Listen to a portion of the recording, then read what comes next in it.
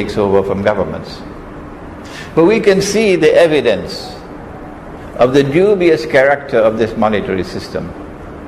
When in 1933, the US government, at the behest of the Federal Reserve, enacted legislation prohibiting the use of gold as legal tender. Why would you do that?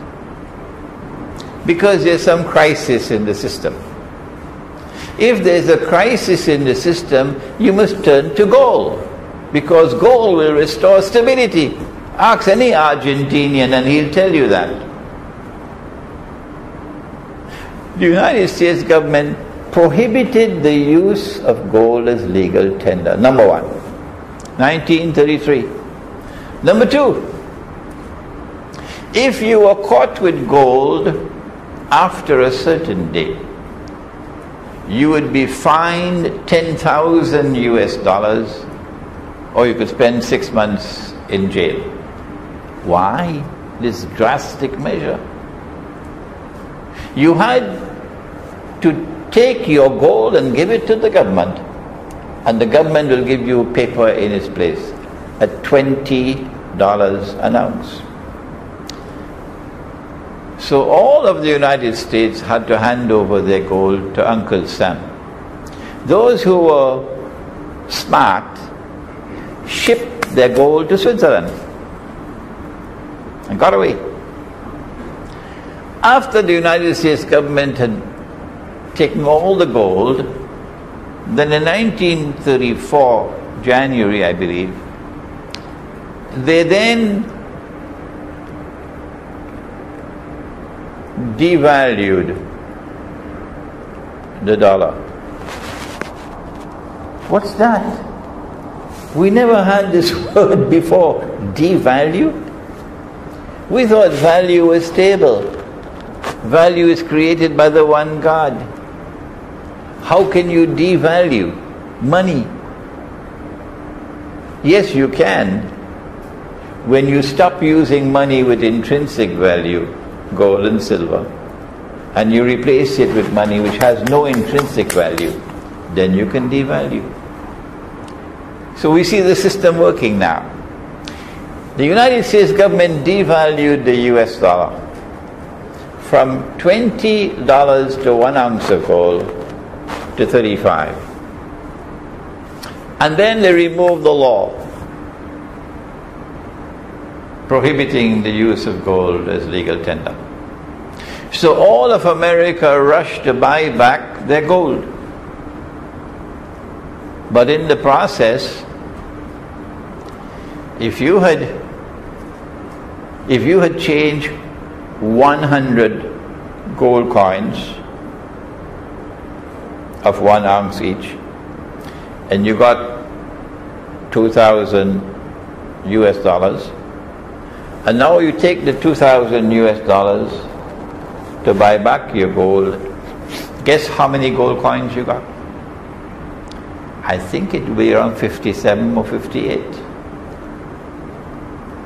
Where has your money gone? Who took it? In this case, it's so easy to understand that the money is in the pocket of Uncle Sam. 43% of the wealth of the people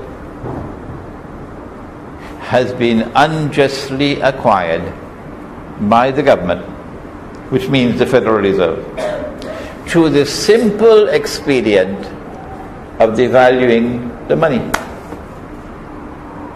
That's what has been happening around the world since then.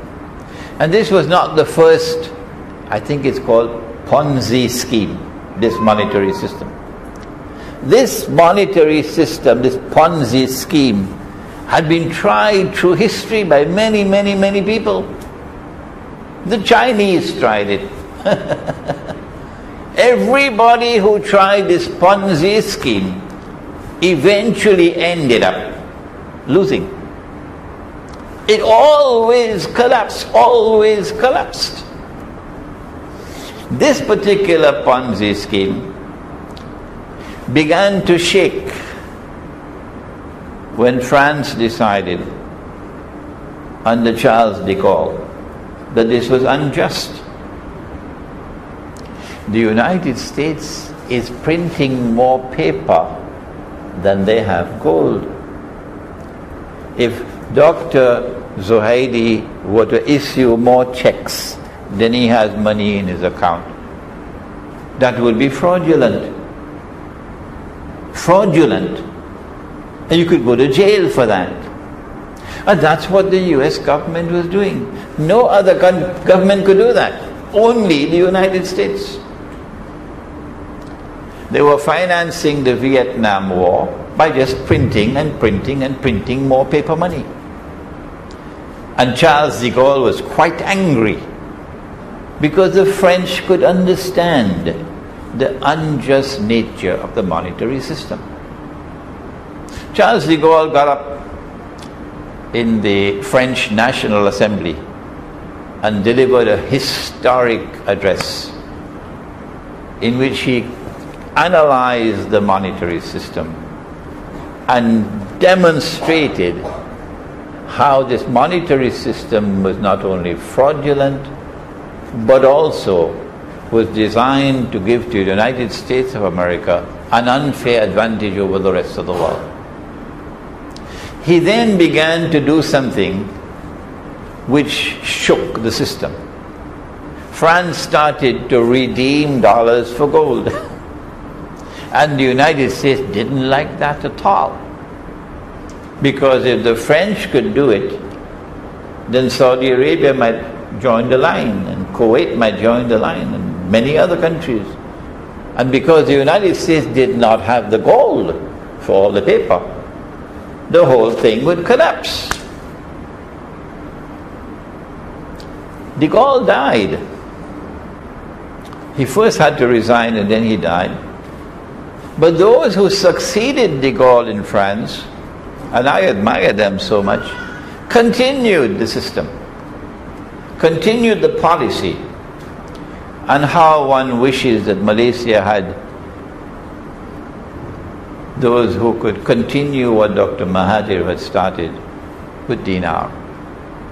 So in August of 1971, the French came along again, one more time. Richard Nixon was uh, the US president and said, Hi, Uncle Sam, are you there? Three billion USD, and we want the gold. Nixon retired to Camp David that weekend. That's what they usually do. And he realized the game was up. The game was up. The Ponzi scheme had collapsed. The United States can no longer continue delivering, re- redeeming paper for gold. And so he delivered an, an, address to the world and said, We gave our word, but we don't have to keep our word.